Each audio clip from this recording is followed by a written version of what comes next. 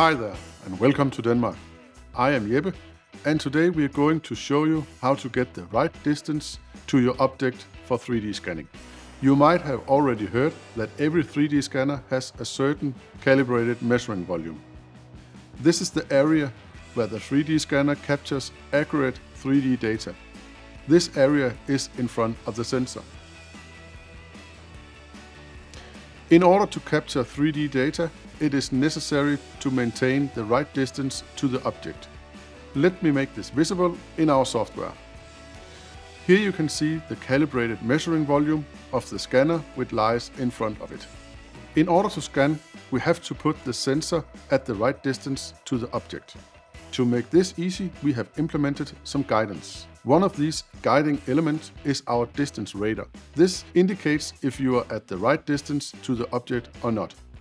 If the indicator points upwards, you are too close to the object.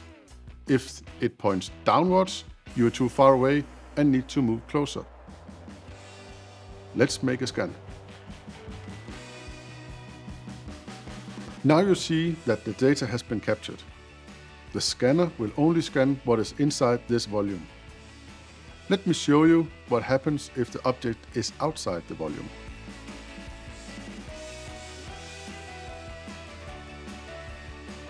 Now you see we have only partly scanned the object, as some part of the object was not inside this measuring volume.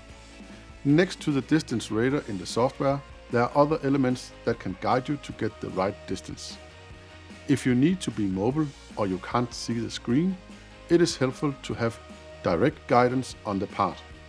With the HSQ, we have two laser points. When the laser points are next to each other on the black projected cross, you know your object is in the middle of the measuring volume.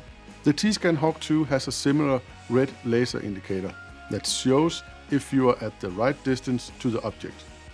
We use two laser lines. These two laser lines are intersecting, so you know the distance to the part is correct.